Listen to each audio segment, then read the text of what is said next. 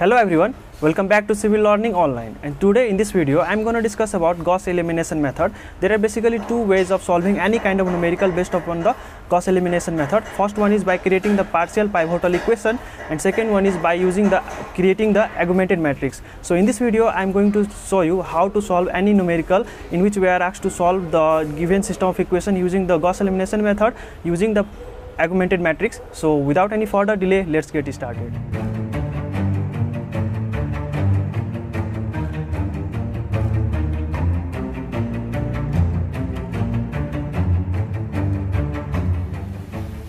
So students, let's begin the solution of this video and here we are provided with the three equa linear equations that is 2x plus 2y plus 4z equals to 18, x plus 3y plus 2z equals to 13, 3x plus y plus 3z equals to 14 and we are asked to solve the given system of equation using Gauss elimination method. So there are basically two methods, two ways of operating any equation system of equations using the Gauss elimination method. First one is we can simply convert the given equations into augmented matrix and later we will solve solve the augmented matrix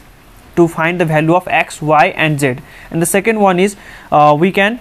use the power method to find the value of x y and z using the gauss elimination method. So i will add video on both of these method one by one. So in this video i am going to solve this numerical uh, using the uh, augmented matrix method. So here is the here we go so write here solution and we will rewrite the given system of equation using the in the form of augmented matrix. So we will have here simply copy the coefficients first. So coefficient of these first equations uh, equation is 2 2 4 and uh, use 2 dot here and then 18 similarly the coefficient of second uh, equations equation are 1 3 2 and again 13 similarly here we have 3 1 3 and again 14 so close this. Now our target is to make this element as unity.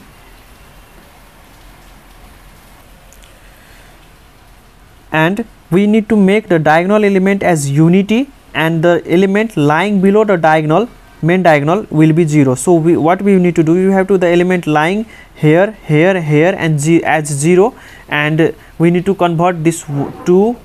3 and 3 as 1 so first of all i am going to uh, interchange this first row and second row. You uh, i hope you know row means horizontal and column means vertical. Okay so we need to if we interchange these two then we will automatically have the first element a11 as 1 so i'm going to do the same thing here. So r1 interchange r2 we have interchanged the uh, row 1 and row 2 so i'm going to write the elements on after interchanging we will have 1 3 2 is to 13 similarly 2 2 4 and 18 now the third row is as it is 1 3 3 and 14 so now we will need to do the operations now. So first thing we need to do is we have to convert this 2 to 0 and this 3 to 0 so how we can convert this 2 to 0 if we multiply this first row by 2 and then if we subtract then it will get converted to 0 what i said r2 implies R2 minus 2 times R1. We are multiplying the element of R1 with, with 2 and subtracting it from the element of R2. Okay. Our next operation is going to be this. Let me write this step here below this. So what I said R2 implies R2 minus 2 times r1 we are not doing any operation in r1 so write the element of r1 as it is. So we have here 1 3 2 and 13 and this r2 means 2 2 minus 2 times r1 is going to be 0 similarly here we will have uh, minus 4 and uh, here we will have 0 on solving on following the step similarly here we have r2 means 18 minus 2 times uh, 13 is going to be minus 8 again we have to convert this 3 to also 0 so r3 implies r3 minus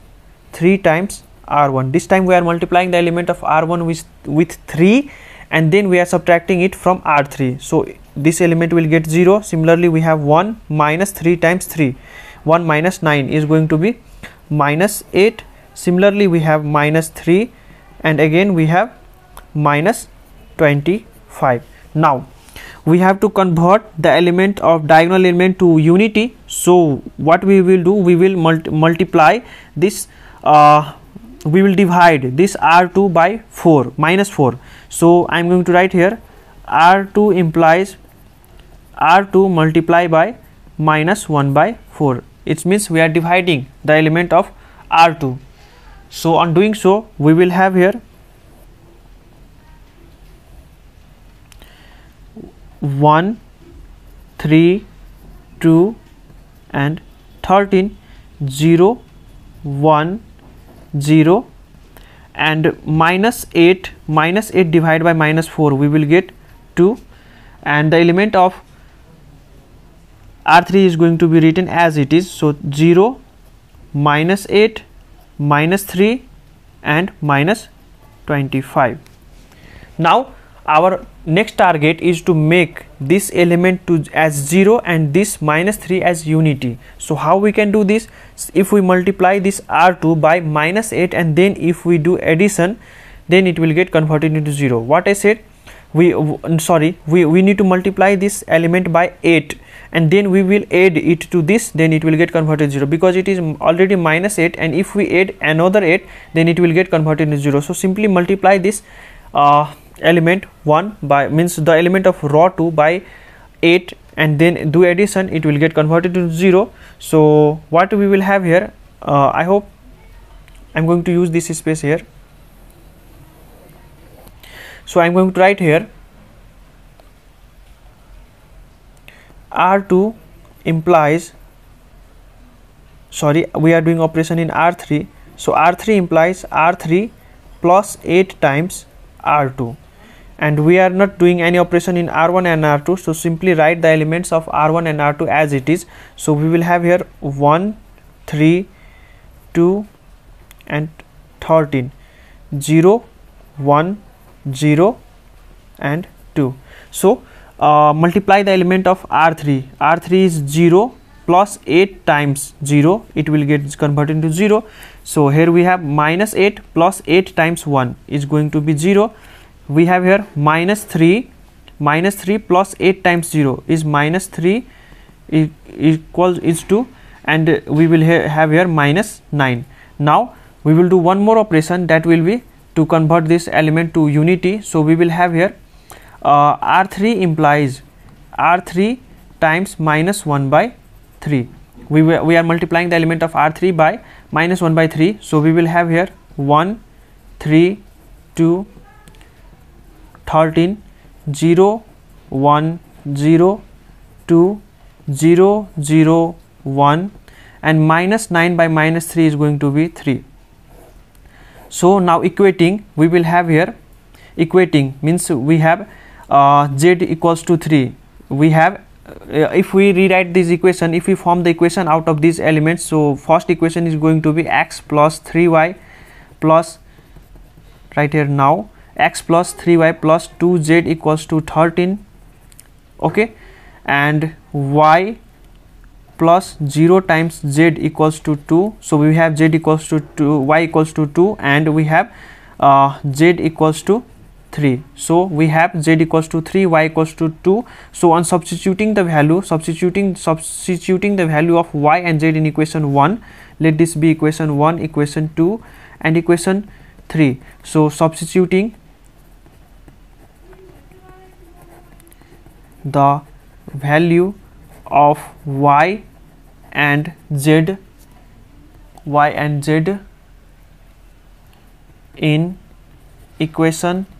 1 we will have here x plus 3 times 2 plus 2 times 3 equals to 13 so on solving this we will get the value of x as 1 so this is the value of x and y. x equals to 1 y equals to 2 and z equals to 3 are our final answer and i hope you understood this method. See you in the next video. Till then stay safe and take care of yourself. And if you guys find this video helpful then do share this video with your friends